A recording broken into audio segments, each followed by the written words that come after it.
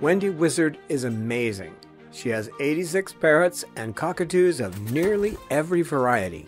She cooks perfectly blended meals for them twice a day. She personally cleans every cage, sometimes twice a day. The food and water in their cages is changed three times a day. Wendy has cages indoors for sleeping and outside cages for their daily dose of sun. What amazes me about Wendy is that she's able to train each parrot and socialize them every single day. Wendy weighs each bird, takes extensive notes on their condition, checks their poop several times a day, and has every detail recorded on her computer. This information is shared over the internet with her primary care avian veterinarian. She does all this and holds down a regular job, too. Ms. Wizard does it all. She never puts circumstances in her own life before the needs of her birds and her care.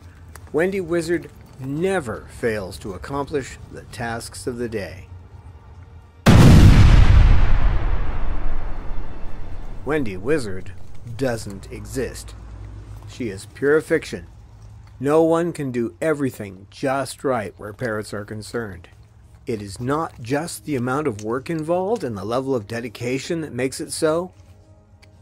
We don't have the information at hand to do the job. Science has made strides in the last few decades, but they are limited. There is little funding for projects that involve studying parrots. There is no financial payoff for conducting research on parrots. So, if there was a Ms. Wizard or a Mr. Wizard, they would not have all the facts that they needed to care for birds. They would make mistakes because of our ignorance, the ignorance of the human race. How ignorant are we? Most of the research on psychology that has been done is summarized in the book The Manual of Parrot Behavior the study of their physiology can be found in the BSAVA Manual for Psittacine Birds, and also in Clinical Avian Medicine. What strikes you after studying these books is how little we know. Although there is a wealth of information in these scientific tomes, the holes in our knowledge are obvious to any discerning reader. There is no cure for psittacine beak and feather disease, no cure for PDD, no psychiatric drugs developed solely for psittacines. Clinical studies have proven that flighted birds who are raised by their parents, for example, do not suffer from many of the functional misbehaviors that we see in captive birds. This study was done on only one species, though. The funding for future studies with other species will probably not appear. Limited funds limit our knowledge. If parrots had landed from outer space, we would probably know more about them. The world would want those answers. Another problem is that Wendy Wizard would be a predator. We humans have problems internalizing the needs of prey animals. We find it difficult to understand why a corner spot in a room provides a sense of security to a parrot. We don't understand the urge to fly away from danger. We are stuck in the lives where the danger of losing our jobs and relationships is a daily worry. We live in this and believe it to be a normal way of life. Parrots would choose to fly away from problems at once. Our preoccupation with survival is foreign to them. They live out their lives in the forests as they have for hundreds of millions of years. Like juvenile delinquent sun worshippers, they greet the day and squawk at its passing. They live as a community, the palm cockatoo and the eclectus are exceptions, that keeps them safe and gives their lives meaning. They own their world. We must trudge off to work to pay the bills and leave them imprisoned for their safety. Wendy Wizard will not have time to train 86 birds a day, that comes out to over 14 hours in training alone at 10 minutes per bird. We hear clocks ticking in our mind. time to do this, time to do that, running out of time, I don't have time for you now, these consume us. Birds don't see life in that way. They live each moment and milk it for everything they can get. The bonds of affection in our world are weak. Divorce rates are over 50%. In their world, commitment is understood and honored. There is not a parrot or cockatoo in the world that would not die for its mate, and that includes human mates. Because of our limitations, our care for our companions will also be limited. We will need to give them less than what they deserve. At times, we will need to rush out the door to some urgency that only a human could feel. At times, we will be sick or too tired to carry out all the duties that make a parrot's life a relatively happy one. What do we do when we are not able to perform all of our duties? That's a good question to ask yourself. Establishing priorities is the practical way to handle this. For example, when choosing between changing the water and changing the food, water is the clear winner there. Bacteria grows amazingly fast in water. Food will get stale and mold will begin to form during the day. Where food is concerned, when pressed, you can sprinkle some new food over old and change the bowls when you get home. This should not be a common practice, though. If you can organize your life better, then you will rarely need to cut corners. The corners that you do cut will be well planned when emergencies arise. One example of a time saver is changing the paper and cleaning the cage at night.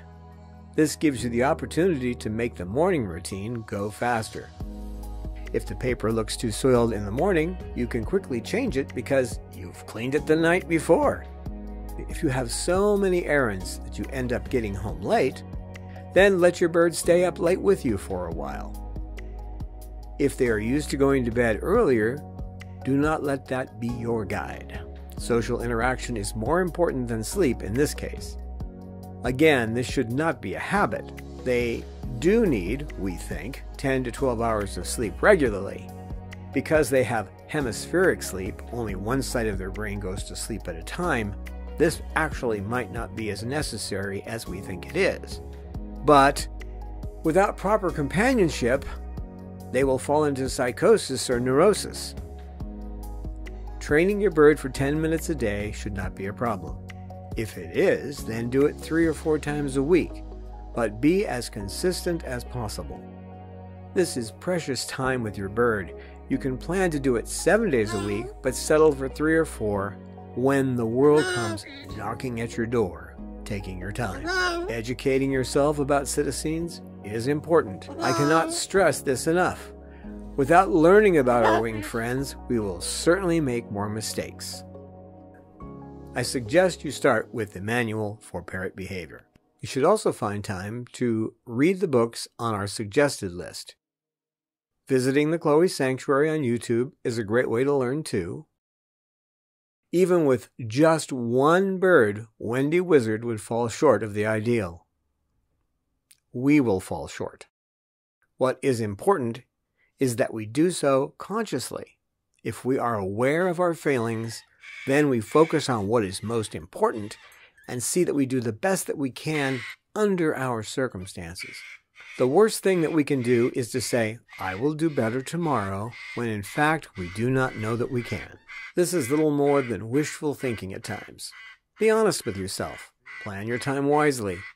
Be sure to honestly evaluate what you can do and set your priorities based on the real needs of your parrot or cockatoo. Think health and safety first, and social interaction a close second. If at first you don't succeed, then reevaluate and plan again. Wendy did everything herself. The truth is that without the assistance of others, we will be unable to carry out our daily chores. Even the most dedicated person needs friends and supporters on their side. There are times when we will need hands and hearts to help us with our flock. You will never be a wizard. Face that fact. Do not hide from your shortcomings. Plan for those days when your best intentions are thwarted by circumstances. Knowing the priorities for your bird's welfare will help you make the right choices. To quote a line from Terms of Endearment, hope for the best, but plan for the worst.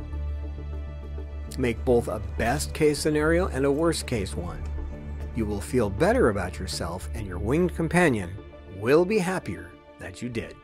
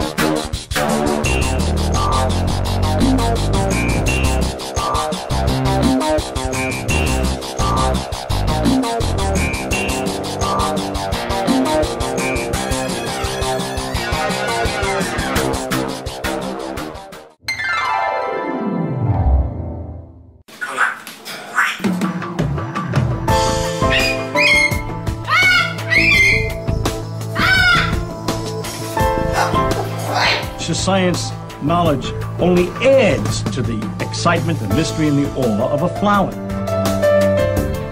Evidence is evidence. It's public, everybody can look at the evidence and assess it, and eventually, if there's enough evidence, come to the same conclusion.